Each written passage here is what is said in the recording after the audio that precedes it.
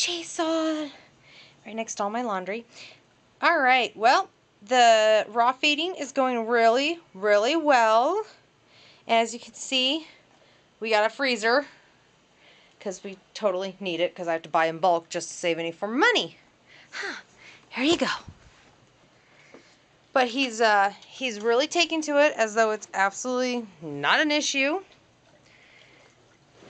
And he loves every single thing I fed him so far. He did finally become a fan of rabbit, where when he first tried it, he was kind of iffy, but he is a fan of rabbit now. And in fact, this is the great thing about having dogs versus kids. I can tell you what he's getting for his birthday, which would be he's going to get his first prey model rabbit.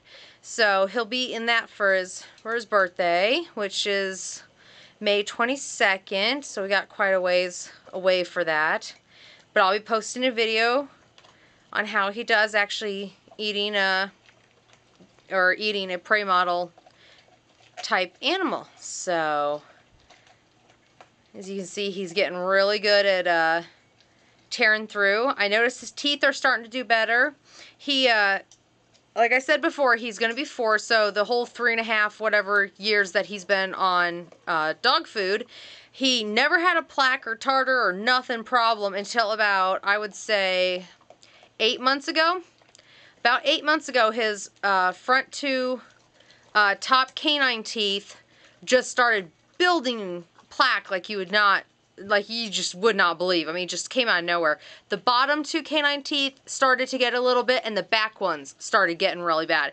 And it, it's amazing because he had no problem. His teeth were totally clean. He chewed on bones and all sorts of things, you know, like Nylabones and stuff, which now he's not allowed to have. And uh, had never had a problem until about, like I said, about six, seven months ago. It just came out of nowhere.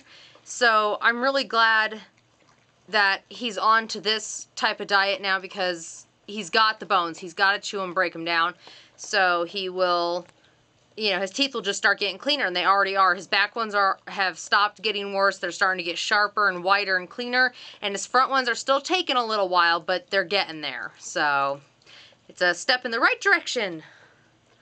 I Chasel.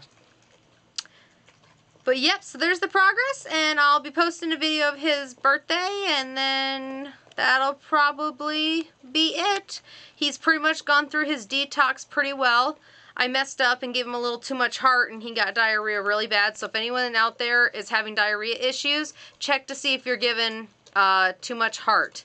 I looked it up, and he actually had turkey hearts, and he was eating about six a day, three each meal, and he just had pure water diarrhea. So if you're having issues like that, uh, check how much heart you're giving them. If you're not, get on the web and see if anyone else has any other suggestions because that's pretty much what I do is whenever a problem happens, I look it up online and nine times out of 10, actually so far 10 out of 10, but I, I'm just going to say nine times out of 10, there's, uh, I can find an answer. And if not, I, I've got friends and different people and um, chat messaging boards and stuff that I can leave a message and find out. So... But definitely, so far so good. Everything's going really well. He loves his food.